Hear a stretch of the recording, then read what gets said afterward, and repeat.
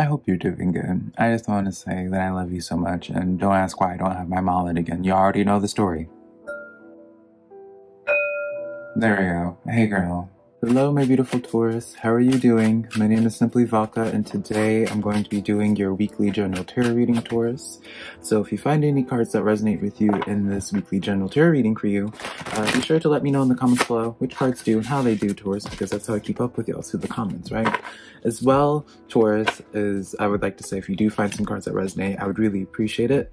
Taurus, for you to take the extra step and give this video a like and subscribe, Taurus, because it does help out my read tarot reading channel a lot, and I wasn't super appreciative when you guys take that extra step to support me in that way, Taurus.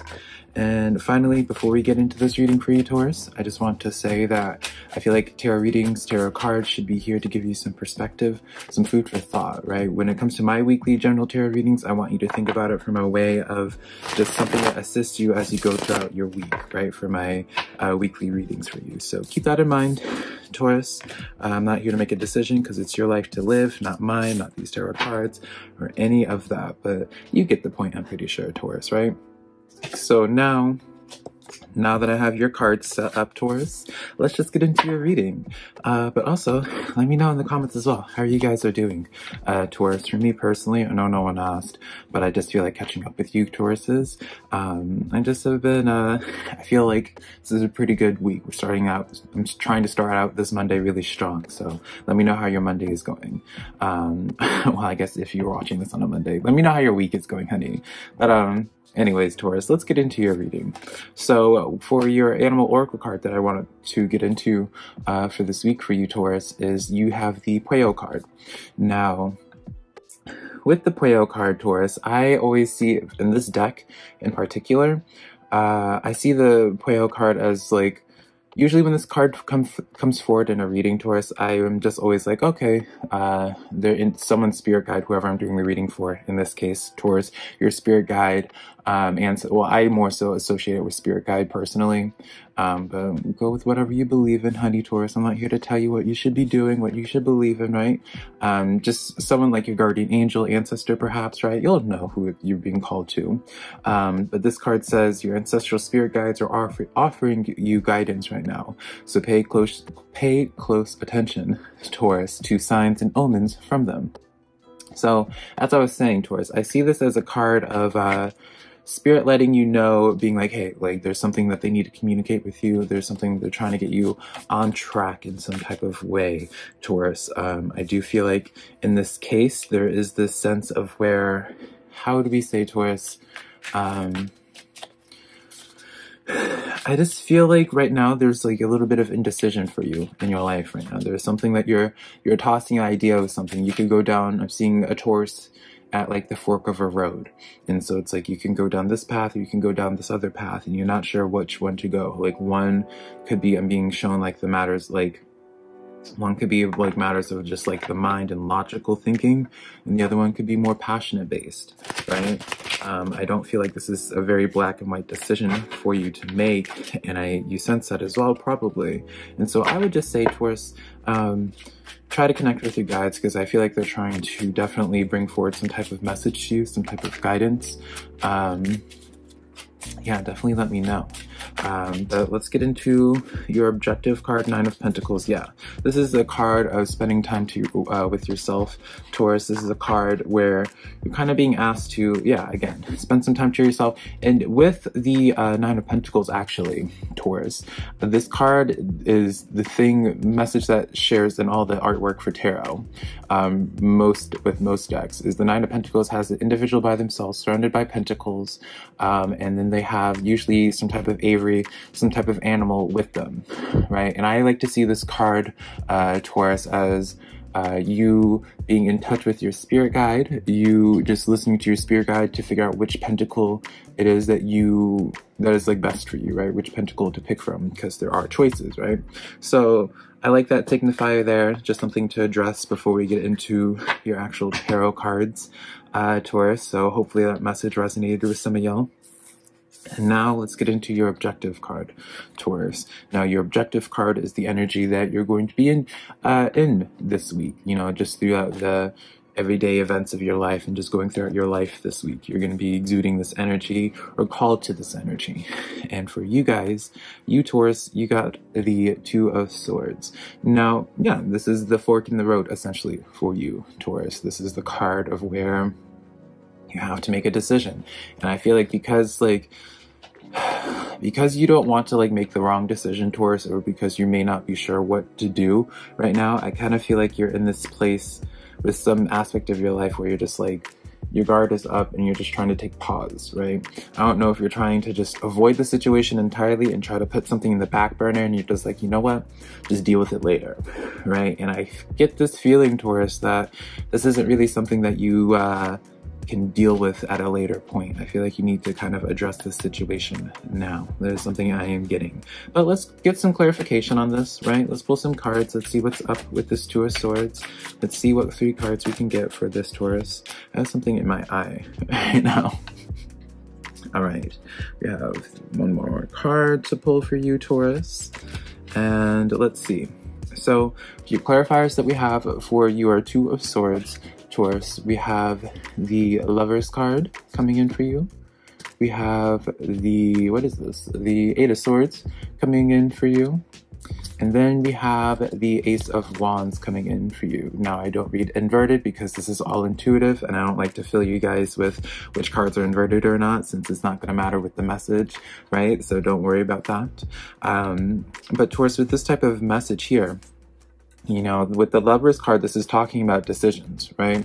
This is, you know, you could be weighing, you notice the theme here too. Again, just like your two of swords, just like that cross in the road that I was seeing, Taurus, just the common theme of like this or the other, right? But again, I don't feel like it's so necessarily so black and white for you, Taurus, especially with this eight of swords here. This lets me know of, um, yeah, again, you feel like almost trapped. Not, I don't want to say trapped, Taurus. You just are, you don't know, you feel stuck. Either you don't, you're not, it feels almost as if some of you Tauruses are asking for more information. You're just like, okay, like, let me, before you go forward as this Ace of Wands, you're just like, all right, guys, like, tell me what's up, right? I understand that. So truly, Taurus, if you are at this place of indecision, um, figure out, uh, I guess I should show you what gets this tulip real quick. Um, figure out Taurus this week if you are at an indecision, the best way for you to connect and work with your spirit guide because I definitely feel like they will be able to communicate with you. And just even if I just want to say, Taurus, uh, even if you can't hear them, right? A lot of people can't hear their guides.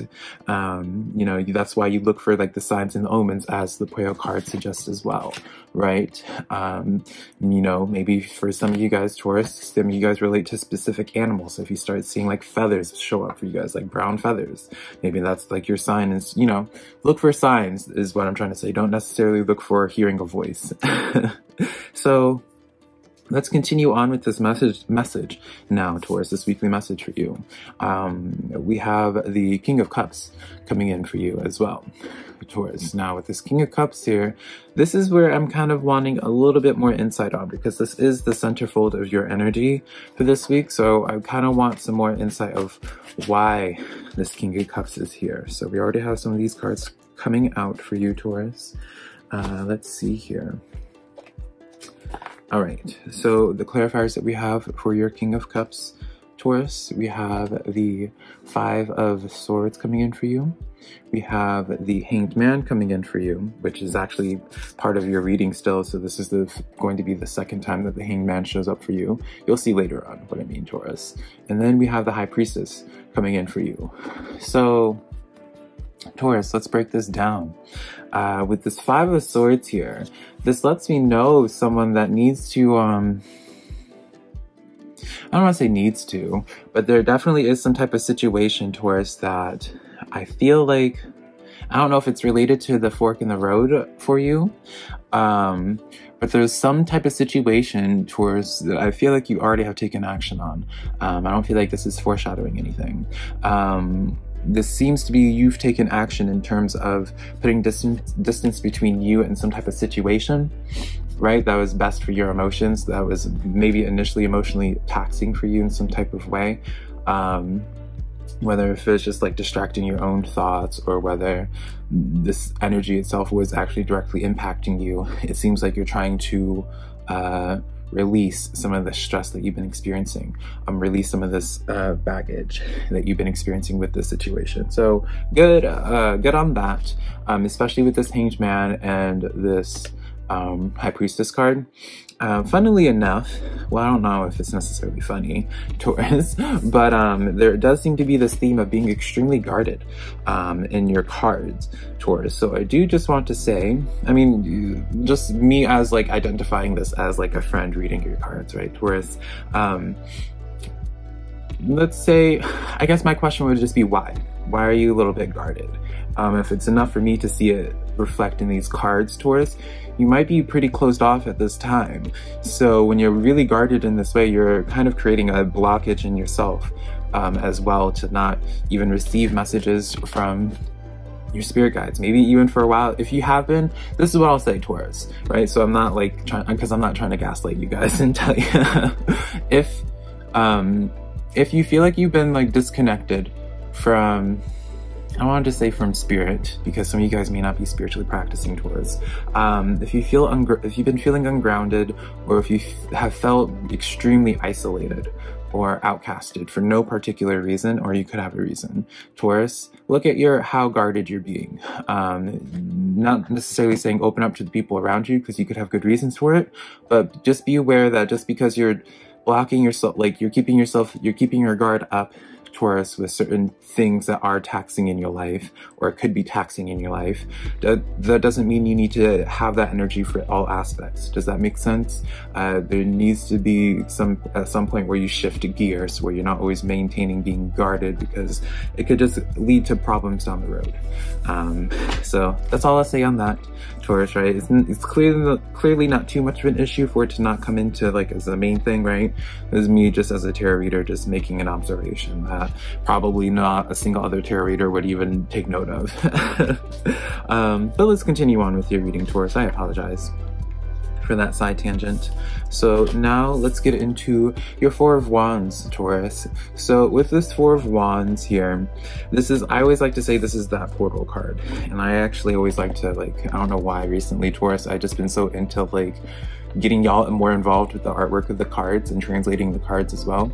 Um, so with this Four of Wands here, you have, this is like the 1111 portal because you see, um, it's, seen as like with these four torches as like the 1111 and then creating the portal. Usually in most artwork Taurus, you'll see you can like, it's like entering something, right? And you're not alone in this, right? This usually can be a sign of like your guide, you know, right? Assist, you know, kind of foreshadowing your guide assisting you and being part of this journey with you, Taurus, or um, helping you get to that 1111 portal, or um, we'll just leave it like that, right?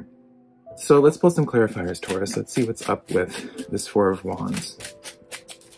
So essentially with this card, this is kind of like you, Taurus, needing to walk towards something. So taking action towards something. So definitely I'm getting a sense towards that a decision does need to be made.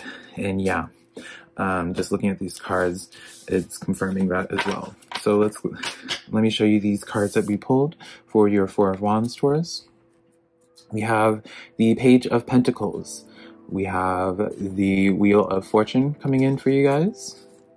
Taurus, and then we have the World card coming in. So with this dynamic Taurus, you need to break a cycle of some sort. You need to put yourself out there. You need to be a little bit more vulnerable. I know I wasn't going to bring up the guarded message from before, but this Page of Pentacles, I see you as um, being the one. Usually when it comes to the Page of Pentacles, this is like you being the person that gets the ball rolling. Does that make sense, Taurus? And by you getting that ball rolling, not only does that get the wheels turning in your favor, not only does like it start creating action uh, for you in your life, Taurus, but you also start breaking those cycles, right? With that world, with this world card, you're breaking cycles. You're um, this is how you start having new things coming into your life. So especially Taurus, if recently you felt like you've been at this like stalemate almost with your life look at that, right? Look at where you could be putting more of a starting like the flow. You know, what is it? What I just said it earlier. Just seeing where you can like get the ball rolling. That's what I was saying. See where you can get the ball rolling, Taurus. So now let's get into your Seven of Pentacles, Taurus. Let's see what's going on here. Now with the Seven of Pentacles, this is this is highlighting Taurus of something that you've been putting energy into. So I kind of get the feeling it's separate from these other messages. So this is now spirit kind of directly speaking to you, Taurus, on something that I feel like you guys are in the midst of. This is something that I'm just feeling in the midst of experiencing. So let's see what it is. Let's see, um, let's see something that you, let's see what the Seven of Pentacles is trying to address, right? So starting this out, we have the Tower card coming in for you. This is already kind of making sense um, for y'all. We have the Four Swords coming in for you. And then we have the Ten of Wands. So, Mm. Taurus, I'm getting almost like this sense that. How would I put this? And I feel like this is only going to make sense to specific few Tauruses. But it's almost like you put your plants, like if we're just going to use this, view this as like a garden, Taurus. Let's say it's like a, some type of garden. You started planting like raspberries in your garden um, it's almost like you've tended to these raspberries, some type of project, some like for these raspberries for like a few months, and then now you're like making the decision because you're realizing these raspberries are actually more of a burden for you to like manage than to actually than what you're getting out of it. And so now you're kind of having a tower moment with this with the raspberries and kind of like uprooting them pulling them out. But it's kind of like the experience that you had with growing those raspberries, you can use this to um, further your own like harvest for something else in your life, like maybe blueberries, right? So I don't feel like it was a waste of time uh, growing those raspberries necessarily, but there does seem to be this push uh, towards of learning when to call it quits on something and being okay with calling it quits, being at peace with that decision. Very specific message. Let me know if it resonates with any of you guys, uh, Taurus, because there's a very weird analogy that I used, probably that just was more confusing than anything. um, but now, Taurus, let's get into your hanged man. This is your second hanged man, or technically this is your first one that I pulled because I pulled it at the beginning of the reading. Um, but yeah, something about your committing to a decision. Let's see what this is about though. Let's see what's going on with Taurus. Now this is kind of highlighting Taurus of um, what happens when you actually commit to like going, and making a decision on which path to go, Taurus. Um, I do get the sense of that. So let's see what Spirit's trying to say with your Hanged Man. So we have the Queen of Swords. Mm. Ooh, okay. We have the Three of Swords. And then we have the Temperance card. So, Taurus, let's just continue on with this raspberry analogy, right? You have, it's almost just like you don't want to, let's say you didn't necessarily want to pull out those raspberries, right? Because you're just like, man, I just put a bunch of energy into them, right? I've tended to these crops for a while now. Is it something that, should I really like wash my hands clean of it? I feel like you kind of should um, with this hanged man uh, coming in here because it's showing to you like it's through this different perspective that you get start seeing the sun. Now you also have the devil card coming in here with the high priestess. So you do have this sense, um, Taurus, that what it is that you need to kind of put your like wash your hands clean of, uh, Taurus. You have this sense, right? Because you know, it's, I do see this kind of impacting you, but I feel like you're trying to just grit it out. You know, you're just grinding your teeth and be like, but here's the, th- uh, yeah, you're grinding your teeth Taurus and you're just dealing with it just because you can. But something I just want to tell you Taurus, just, to be, just because you can handle being inconvenienced on a certain level doesn't mean you should have to be inconvenienced, right? Um, and so I see you as this Queen of Swords needing to put proper boundaries and just like, saying to yourself and finally going, be like, you know what? Yeah, I can deal with this. Yeah, I can manage this, but it doesn't mean you have to. You shouldn't have to, right? Taurus, you need to, with this temperance card, open up and be willing to just like play the waiting game. If someone's making you like a low ball offer, right? Don't settle, right? Because you know that you deserve, you're worth more. So messages are kind of all over the place, but I feel like um, they'll reach those that need that will need that it needed to reach Taurus. Um, but yeah, that's the tarot cards that I have for you for this weekly general tarot reading for you, Taurus. If you did enjoy this reading, be sure to let me know in the comments below. Be sure to give this video a like and subscribe, Taurus. And then also, I do all the zodiac signs for the weekly general tarot reading. So if you have a friend that, that is into tarot, be sure to share my videos with that friend. So in case they might be into my tarot messages. But until next time, Taurus, I love you so much.